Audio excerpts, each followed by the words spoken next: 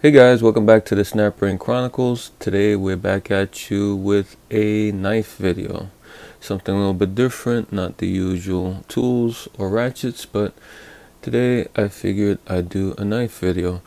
And it's a Gordon Bowie knife. And Gordon, of course, is a brand of Harbor Freight.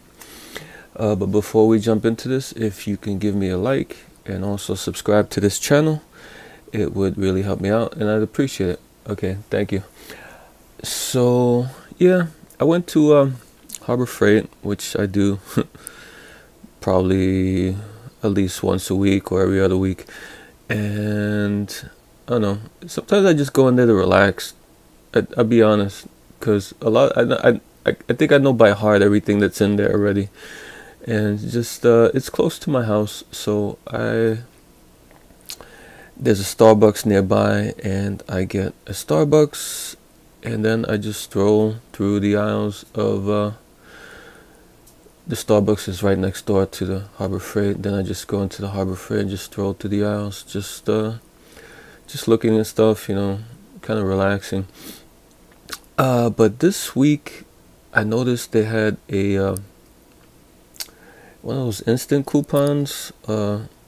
Not a coupon, but like an instant savings that's automatic. Uh, it's it's already uh, listed on the item on the aisle, so you don't need to look for a coupon or anything. And one of the items that was instant rebate was the Gordon Bowie knife, and as we know, this is a copy or a replica of the Buck 119 knife. So if it looks similar, it's because it is similar. It's pretty much the same knife, except that this is a lot cheaper and we'll get into that in a second. And oh, by the way, this was originally this is $25 and they had it with the instant rebate, instant coupon, whatever. Uh, it's $19.99, so $20. So they took off $5 for this instant rebate. And this is item 58090 and it's known as the Bowie knife, a 6 inch blade, heat treated blade, ergonomic grips, through tang construction, durable fixed blade design, 10 and a half overall length, 10 and a half inches overall length, and the metal on this knife is 7CR717 MOV. Say that again. 7CR17 MOV, which is considered an okay kind of not the greatest, but not pretty pretty decent for a cheap knife uh, metal. Uh, a lot of people consider it all right. So not not the cheapest metal. So seems okay. Stainless steel, superior edge retention, synthetic resin handle, aluminum handguard. I guess this is the handguards, well, mainly this one. And it says it's aluminum and genuine leather, genuine leather sheath. All right. On the back, Specifications, resin, uh, synthetic resin handle with ergonomic grip for easy use without slipping. Includes protective leather sheath with belt loop. Heat treated blade for maximum strength and durability. Perfect for piercing, detail work, and cutting in tight spaces. Fuller reduces the weight of the blade for easy use. And where is this made? Of course, it's made in China. So let's take it out and see what we got.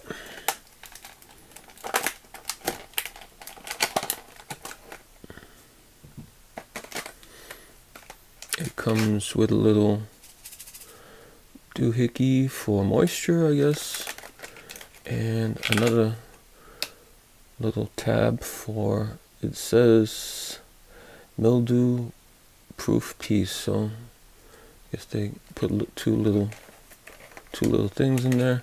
And in the back, they have the sheath. And we'll jump into this in a second. Move these out of the way. Okay. So here's the knife. It comes with a little tip guard, plastic. It's very pointy. You see the point there and you can see the edge. Not bad. Looks like the edge is in good shape. There's it looks uniform throughout. No nicks or anything like that, so that looks pretty decent. Here's the fuller they're talking about. Some people call it a blood groove, but I guess the accurate description would be a fuller. Doesn't look too deep though. I don't know how much weight they saved by that. And on the blade is marked GK21. And it looks like it's lasered on there. So it's not very deep.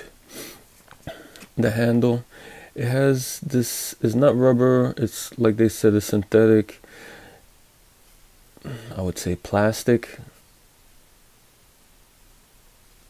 I don't know. Uh, I could be wrong, but to me it seems like plastic, and they did call it synthetic resin, so I would assume it is sort of a plastic.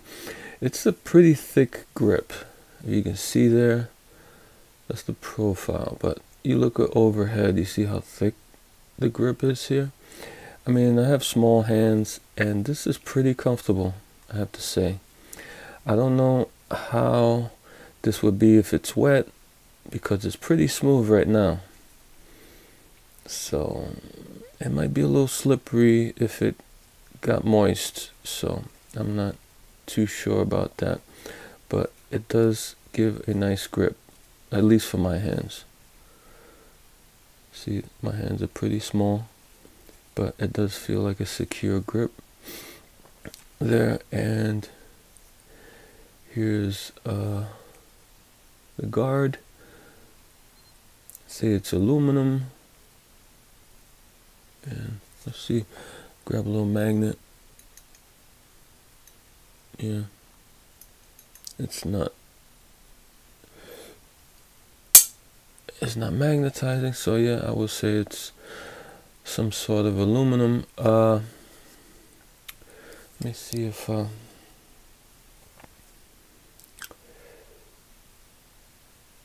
you see it's it doesn't go all the way like the whole length or width of the blade doesn't go into the handle.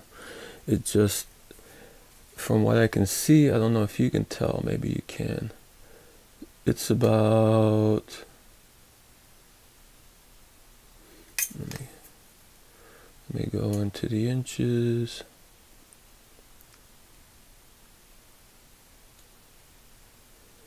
Maybe around half an inch. A half inch of the blade you see it uh, goes into the handle uh, width wise you can see it starts kind of there and then over on this end it kind of starts over here so you can see maybe a little bit there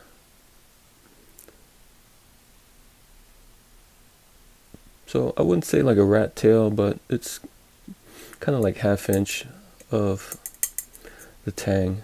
It has like a half inch tang that goes in, and the the width of the blade. It's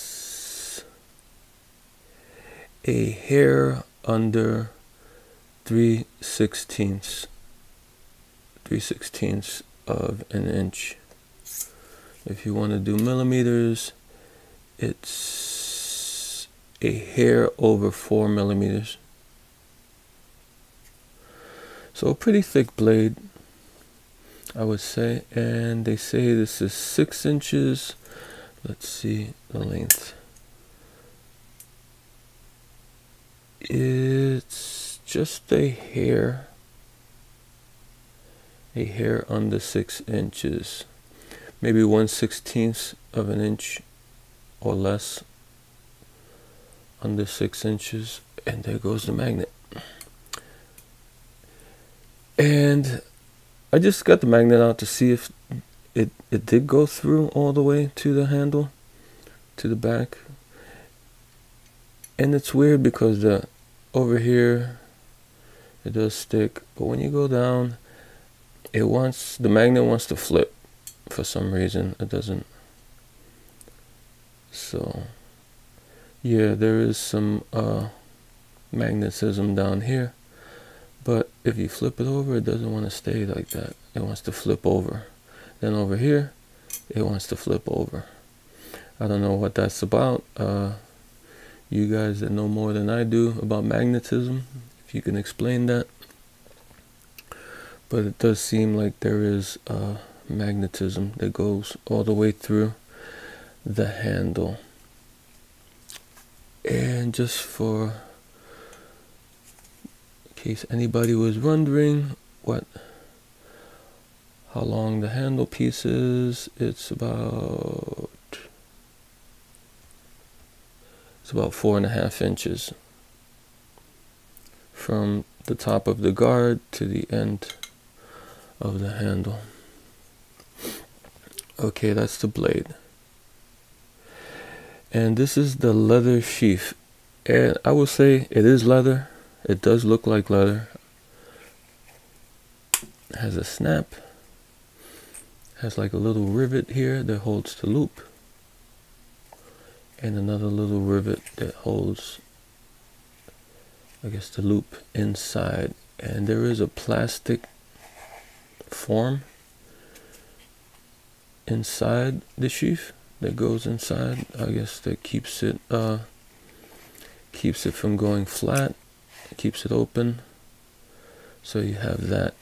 And just to look at the leather and the, the thickness of the leather you can see how thick the leather th is there I'll try to capture this in millimeters and see if I, I can it's about two millimeters thick the leather. Let me look real good to make sure. Yeah about two millimeters thick. So it's not a very thick not a very thick sheath. Uh is some of a see the inside has this piece here which is a thicker leather leather piece. At the end goes all the way down all the way down all the way down. And then at the end it's just an open hole. And here's a look at the snap. I have to say the snap is pretty firm. It's not one of those loose real loosey goosey snaps so that's pretty decent. Uh, and like I said it's leather but not the not the thickest leather you would want. But for $20 to have even a leather sheath is pretty good I think even though it's it's a little thin but it looks like it'll hold up for a while. Doesn't look like it's a total piece of uh, you know whatever. You know looks okay. I mean if you took care of it seems like it would last for a while. Yeah so that's it. That's what I got out of this knife. Uh like I said $20 right now. Usually this is 20 25 for $20 it seems okay. Seems like a pretty decent knife for $20 the quality seems okay. Seems decent quality for $20 has a leather sheath which is a little thin but seems pretty good. Not too bad you know that's uh I gotta give them points for that. They could have they could have provided a really crappy sheath which happens a lot when you buy a knife nowadays. You even some of the not the cheapest knives you buy them and they'll come with a super crappy sheath but this one's not too bad the sheath and the blade looks pretty decent I mean like I haven't used it or anything, but it seems like a decent. The edge is pretty good. Uh, decent, came pretty sharp right out of the box. So uh, all in all, for twenty dollars, yeah, I, I think this is a decent buy. For twenty five, mm, I'm kind of cheap. uh, twenty five would be at the limit. I would think that this would be a good buy. But for twenty dollars, yeah, I think it's I think so. It's a decent buy. Okay, guys. Until next time.